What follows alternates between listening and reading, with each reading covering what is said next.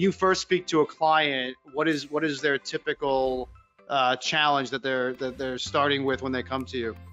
Yeah, I mean, most of our customers are not that intimidated by the technical aspects, the complexity, et cetera. It tends to be more really understanding the business case and the economics in terms of realizing the benefits and how much money is going to be involved. You know, one of the things we're seeing with, with the rush to try to move stuff to the cloud, a lot of customers are getting bills that are much higher than what they expected. So there's a whole financial engineering around making sure that you optimize those workloads to the cloud and not uh, uh, overspend in terms of uh, signing up for cloud resources that are unnecessary.